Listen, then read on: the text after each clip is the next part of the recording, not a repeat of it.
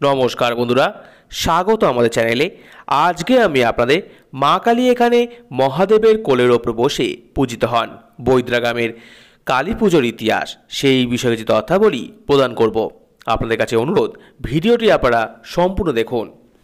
মুর্শিদাবাদ জেলার জঙ্গিপুরে জামুয়ার গ্রাম পঞ্চায়েতের অন্তর্গত বৈদ্রা গ্রাম এখানে দক্ষিণাকালী আনন্দ ভৈরবী তারামাতার পুজো বহু প্রাচীন।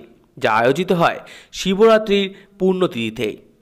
আজ থেকে প্রায় অনেক বছর আগের কথা। জঙ্গিপুরের বৈদ্রা গ্রামে একমাত্র তন্ত্রসাধক ছিলেন গোরক্ষনাথ ভট্টাচার্য। তিনি বৈদ্রা গ্রাম দেবী মন্দির অর্থাৎ বেনাইচণ্ডী মন্দিরে সাধনা শুরু করেছিলেন। সাধনা করার সময় তিনি শ্রী শ্রী দক্ষিণাকালী আনন্দ ভৈরবী মায়ের রূপের দর্শন পান এবং কিছুদিন পরেই ফাল্গুন মাসে কিছুদিন পরেই পঞ্চমুণ্ডির আসন করে ফাল্গুন মাসের শিব চতুর্দশী তিথিতে মাকে প্রতিষ্ঠা করেন। বর্তমানকালেও সেই পঞ্চমুণ্ডির আসন দেখতে পাওয়া যায়।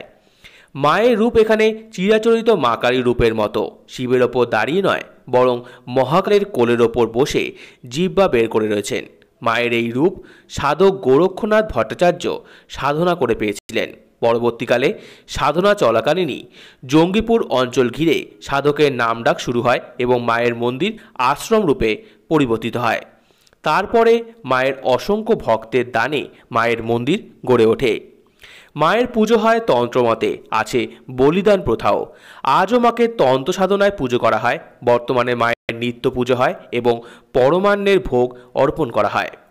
বছরের প্রত্যেক মাসের প্রতিটি অমাবস্যায় হোম করে আয়োজিত পুজোয় হয় খিচুড়ির ভোগ। ফাল্গুন মাসে শিব চৌদশী তিথিতে, অর্থাৎ শিবরাত্রির দিন, মায়ের বিশেষ পুজো ও বলিদান হয়। এখনও মায়ের বিশেষ পুজো করেন সাধক গোরক্ষনাথের প্রধান দুই শিষ্য, ধীরেশ্বর চক্রবর্তী এবং গোপাল রায়। খিচুড়ি নানা রকমের তরকারি, শোল মাছ, চাটনি, পায়েস ছাড়াও মায়ের বিশেষ ভোগের মধ্যে রয়েছে হাঁসের ডিমের বড়া, স্যালাড এবং কারণ সুদা। তাছাড়াও নানা রকম ফলমূলাদি দিয়ে মায়ের পুজো হয়। আজও মায়ের বিশেষ পুজোয় বসার আগে প্রথমে গ্রামদেবী অর্থাৎ বেনায়র চণ্ডী মন্দিরে পুজো করা হয়, তারপর হয় মায়ের পুজো।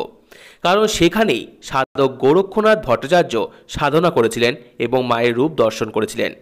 সারা ধরে চলে মায়ের পুজো। পুজোর মন্ত্র ও ঢাকের বাজনায় শিবরাত্রির দিন বৈদ্রাগ্রাম এক অন্য রূপ নিয়ে সেজে ওঠে।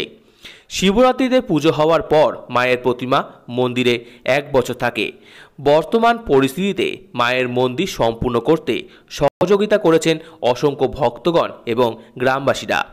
সাধকের মৃত্যুর পরে বর্তমানে মন্দির রক্ষা করছেন ধীরেশ্বর চট ধীরেশ্বর চক্রবর্তী, গোপাল রায়, বিকাশ পাণ্ডে, দেবজ্যোতি চক্রবর্তী, সুশান্ত মজুমদার, নিশু মাঝি, উদয় ব্যানার্জি, সুবোধ প্রামাণিক এবং বৈদ্রা চক্রবর্তী পরিবার ও বৈদ্রা গ্রামবাসী।